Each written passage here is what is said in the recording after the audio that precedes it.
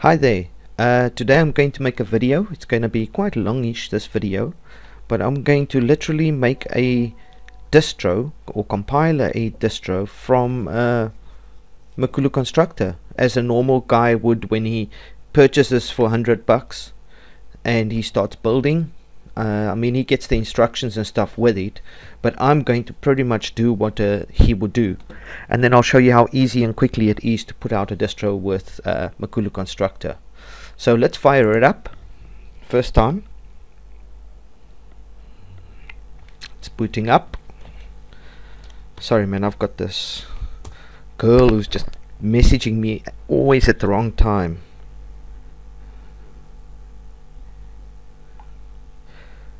Okay. So, it's booting up. This is how it would boot up with anybody that buys a constru construction kit. Um, now my net is a little slow, so any downloads that I do that's big, I'm going to pause the video. Um, okay, so first time login. Let's log in username, password, and then su to get to root, password. I could work with sudo, but I prefer root. Okay, so I'm going to go apt get update. That's the first thing you should do always. So as you can see, my net is slow. Usually this should fly, but uh, but then again, it's just the testing repos and the Makulu repo, so really there isn't that many repos enabled by default. Just the necessary ones. It fetched 750 kilobytes and it took 16 seconds to do that. And I'm getting 46.5 kilobytes per second, so you see what I'm dealing with. Okay, so we do apt-get update, then we do apt-get upgrade, always. Okay there's 42 megs of upgrades. I just want to see what they are. Oh okay this is gonna take a while. Okay so I think the best thing for me to do is just to pause the video here because I don't want to waste video time but um, it says about six minutes Ooh, picked up a little bit of speed okay I'm gonna pause it I'll come back when it's done right the upgrade is done so next uh, we've done the apt-get update and the apt-get upgrade. Those two always have to be done. No matter what you install, what you do, always have to do those. Especially um, the first time you've booted up. Okay, so that's out of the way. So now we need to install a login manager and a desktop environment. Okay, so login manager, LightDM, simple and easy. So I'm going to do a apt get install LightDM, and that should be a small install. Yes, just over a meg there we go setting up LightDM very quick and easy then we're going to install I don't know what desktop let's take XFCE4 and I don't want any of the extras so plain and simple XFCE4 it's going to fetch 12 megs 41 Okay, yes, and that should take about, I'd say another 5 or 10 minutes. I'm just going to pause the video until that is done.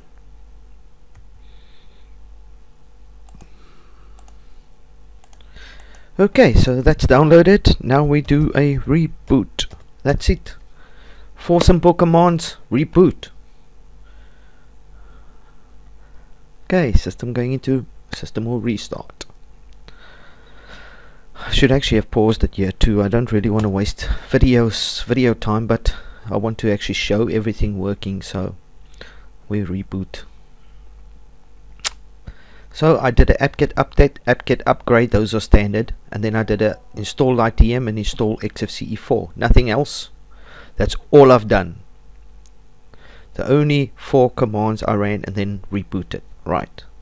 As you can see, it's starting up just about everything. All the back buses, network support is there audio is there bluetooth support is there everything's done so um, now we log in for the first time Makulu Makulu that obviously can be changed. I've just made that as default on the image.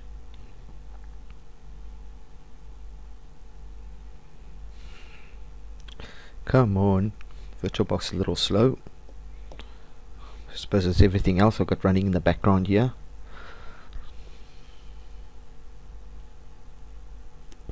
There we go. Welcome to the first blah blah blah. Okay, use defaults okay I don't like the second panel so I'm going to remove it. Panel preferences. And delete panel 2 yes remove it. Panel 1 unlock it. I want to move it to the bottom. Oops. I think I just moved the video there. Okay let's move the panel 1 to the bottom uh, what did I do with the video? Where is this video? Okay there we go. So panel one's at the bottom. We lock it. Let's go set appearance. Okay I first need to go into the menu settings manager. I need to go to Windows tweaks compositor switch it on. All settings back. Um, appearance let's give it a different theme here.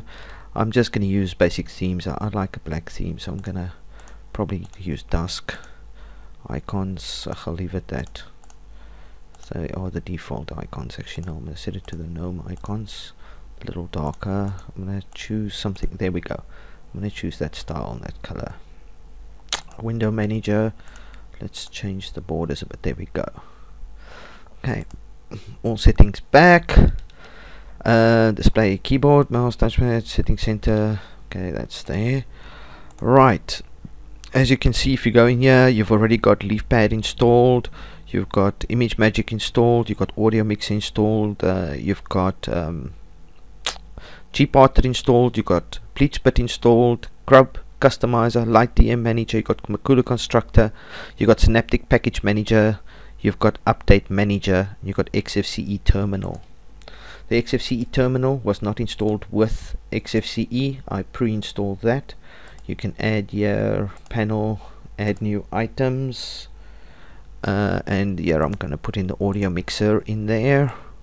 Anything else? Not really. I like the Orage clock. I prefer it over the other one so I'm gonna remove that one and put the Orage one there rather. Close then I'm gonna move this over that side. I'm gonna remove that. Don't like that. And then I'm gonna move this over there. Maybe put the clock there.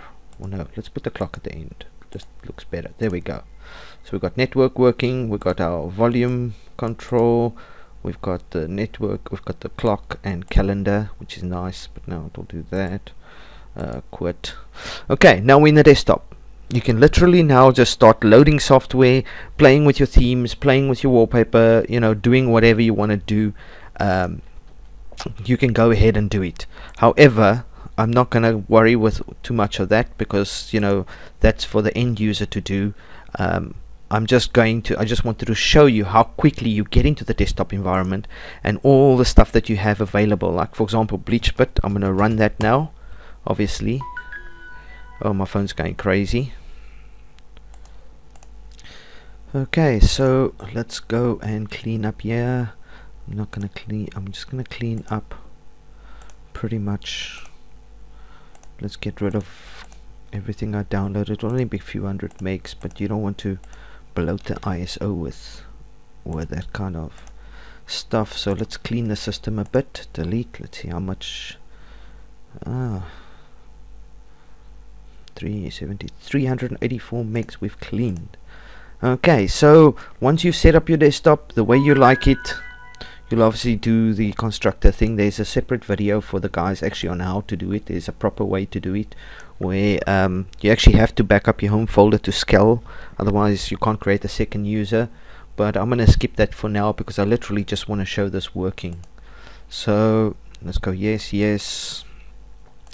There we go. Put in password. Enter. Enter again. Let's call this distro something else. Let's call it test enter and it will literally start building now. As you see it's already placed the installer icon which means the installer is now being set up in the background. Um, it's now building a file list. It will start copying. And uh, once it copies over it will compress all the file uh, compress the squash fs create the ISO add the EFI EFI files. It's all automated. It does it all by itself that literally I just started the app and put in my uh, password hit enter. I didn't even, didn't have to rename the distro but obviously if you want to you can and then just hit enter again. That's it. That is how easy the script is to run. Okay? It will now automatically create the ISO with everything done. You've got your network support. You've got your audio support. You've got Bluetooth working. I don't have Bluetooth devices now but if I did and I plug them in it will pick them up. Um, all the backend stuff is done for you okay? Literally all you have to do is design your desktop. I mean you put in the software that you like put the themes that you like put the wallpapers that you like back up your home folder to skel and that's it. Build. Klar I mean you could literally put out a distro in days you know?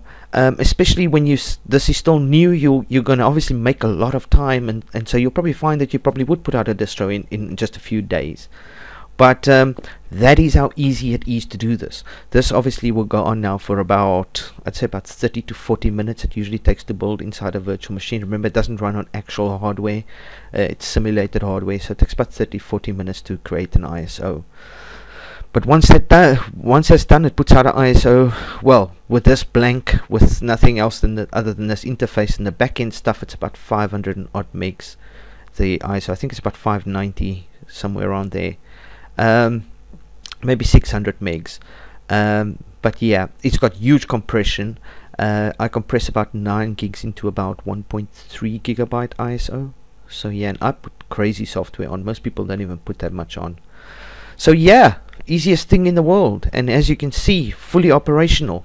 This is the actual construction kit that I used now.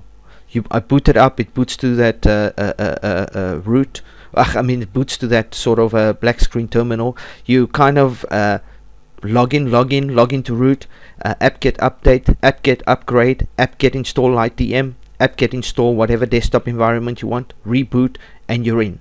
Now you customize and build. That's it. That is how easy the construction kit is to use. So um, I wanted to show this actual um, you know it working live so that people can see. Because I know in the other video I talk a lot about it and I'm trying to explain but people aren't actually seeing how easy it is. I'm talking away here I mean heavily and if I look at the video we've only been going 12 minutes 12 and a half minutes. So 12 and a half minutes and I'm already building my first ISO 12 and a half minutes fine I didn't really customize the themes and everything else but 12 and a half minutes and I'm already putting out my first ISO okay? If I'd spent uh, you know gone to gnomelook.org and downloaded a couple of themes and then downloaded some wallpapers so let's add on another like three hours. That would have been three hours and 12 minutes to put out my first distro. That is literally genius. Genius on a whole new level so there you go. There you have it in action. I'm just gonna pause until the build's finished. I don't want to waste another 30 minutes watching the screen. Okay. Okay here's the uh, it's doing the um, squash fs file system now. So this will go on for about another because the first part took about that's about 10 maybe 12 minutes. So this part uh, takes about another 10 12 minutes. And after that it's pretty quick Okay, now we get to the UF, UEFI part. It's creating UEFI image. This shouldn't take too much longer. Compression's done. Copying files done. Pretty much everything's done at this stage. This terminal will auto close itself once the process is finished.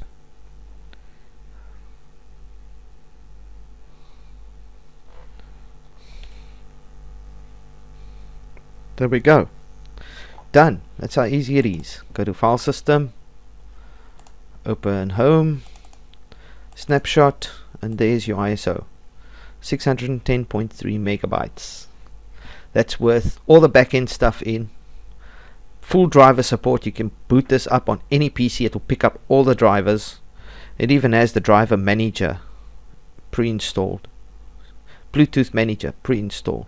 Networks pre-installed um, so yeah there's a lot of stuff pre-installed. Not everything you know not 100% because some certain things run on certain desktops only uh, but pretty much everything on the back end the stuff that you always put in every single distro that's all been done you know. So um, that does shave off a lot of development time.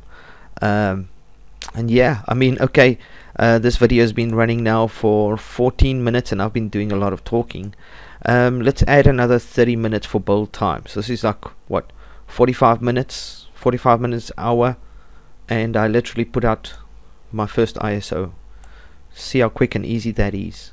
You will never in your life ever find it so easy to uh, build on Linux especially Debian I mean Ubuntu there's always a lot of shortcuts but Debian there's never been shortcuts before so this is what Makulu Constructor is all about. This is what it does. This is what the kit is. Uh, I offer it for $100 membership, obviously, but um, you pretty much get all the backend stuff done. You get a partially built image. All you have to do is install LightDM or whatever login manager you want. For Debian recommended is always LightDM install your LightDM. You've got a LightDM manager here as well that you can use to customize LightDM with. Brilliant little app written by um, SolydX community. So um, install your LightDM, install your desktop environment, whichever you want, customize it and build. Pretty plain and simple. So yeah, that's it.